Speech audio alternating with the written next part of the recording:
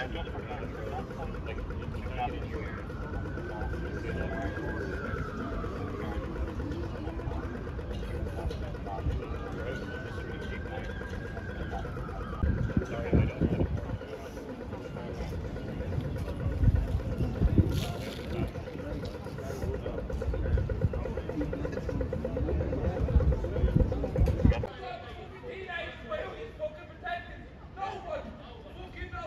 My bike is parked down at the gate here, like, the motorbike.